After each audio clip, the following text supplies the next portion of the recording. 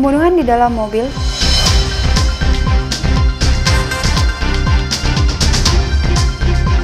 Saksi tegas bagi caleg yang melanggar.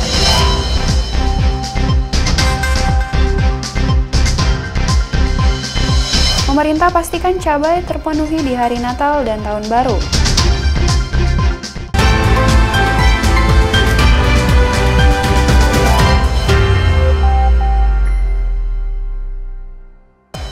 Kompas Kaltim hari ini hadir dengan beragam informasi penting dan menarik. Selain tiga sorotan tadi, informasi seputar rekonstruksi pembunuhan anak kandung dan berita kriminal di beberapa daerah akan kami sajikan dalam Kompas Kaltim. Saya Juliet Helmina, inilah Kompas Kaltim selengkapnya di Kompas TV, independen terpercaya.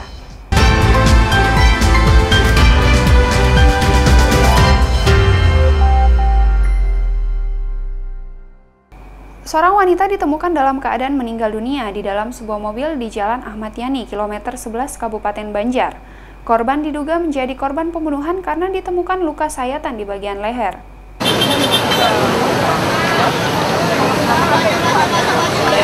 Satuan Reskrim Polres Banjar langsung melakukan olah tempat kejadian perkara pasca ditemukan seorang wanita tewas dalam sebuah mobil.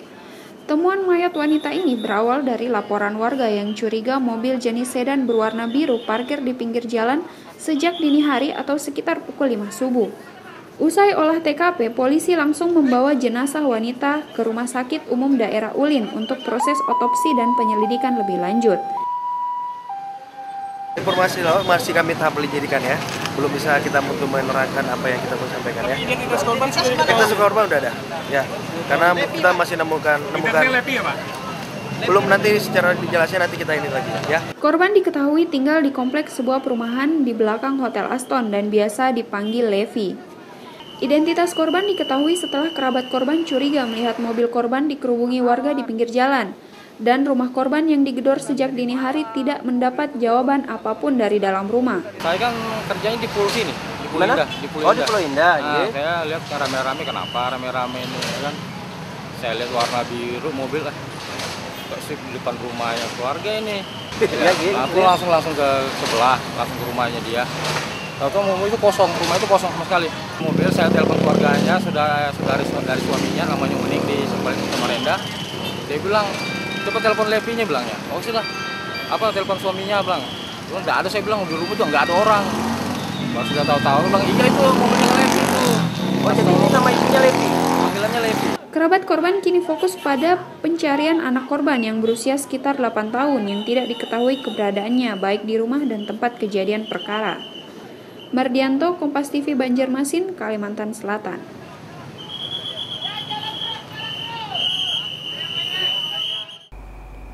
Kepolisian menggelar reka adegan pembunuhan bocah yang dilakukan ayah kandung. Tersangka memperagakan 29 adegan mulai dari korban dimarahi tersangka hingga dipukul menggunakan palu.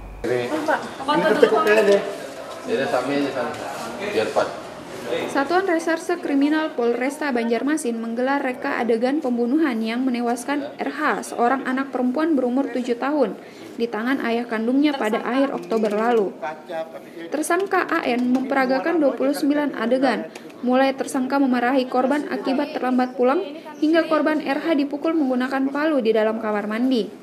Setelah dipukul berulang kali menggunakan palu dan gayung, dalam reka adegan tersangka kembali memperagakan memukuli korban dengan ikat pinggang.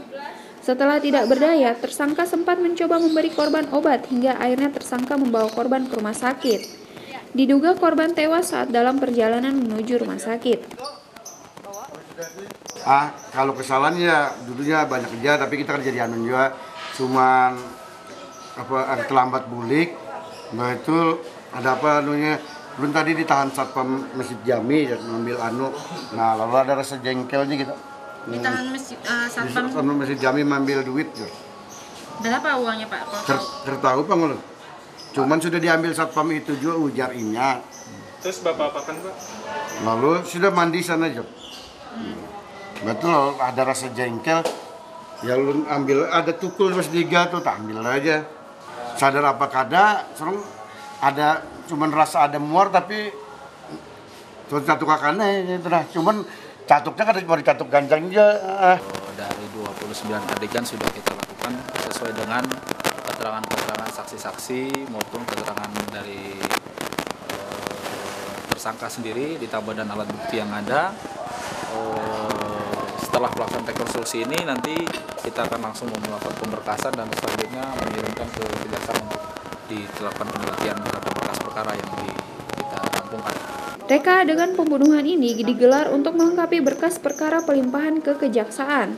Tersangka kini ditahan di rutan Mapolresta Banjarmasin untuk proses selanjutnya. Fadli Azhari, Kompas TV Banjarmasin.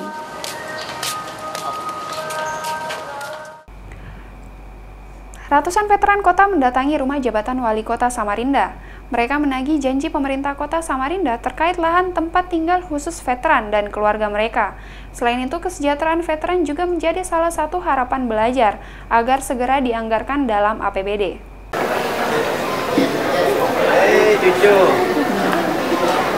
Sekitar 27 veteran dan 102 keluarga veteran mendatangi rumah jabatan wali kota Samarinda di Jalan Es Parman, Kelurahan Gunung Kelua, Kecamatan Gunung Kelua, Kota Samarinda, Kalimantan Timur. Para veteran dan keluarga veteran menagih janji wali kota terkait lahan untuk perumahan para veteran dan keluarga veteran.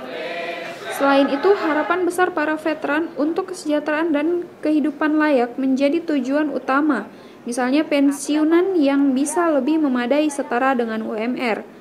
Selain umur yang semakin menua dan kemampuan untuk beraktivitas semakin terbatas, seharusnya pemerintah mampu mengakomodir permintaan para pejuang bangsa ini.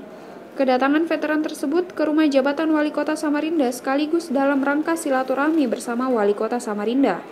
Wali kota juga membagikan sembako dan santunan semua veteran dan keluarga veteran.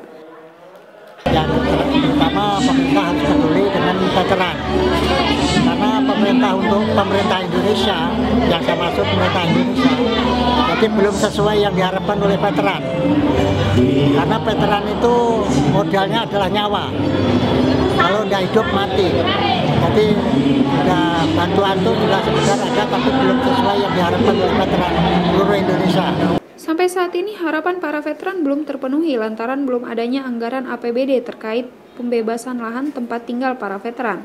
Meski demikian, wali kota enggan menanggapi masalah tersebut. Ardi Wirya, Jasmine Jafar, Kompas TV Samarinda, Kalimantan Timur. Sanksi tegas bagi caleg yang melanggar, nantikan selengkapnya setelah jeda berikut ini.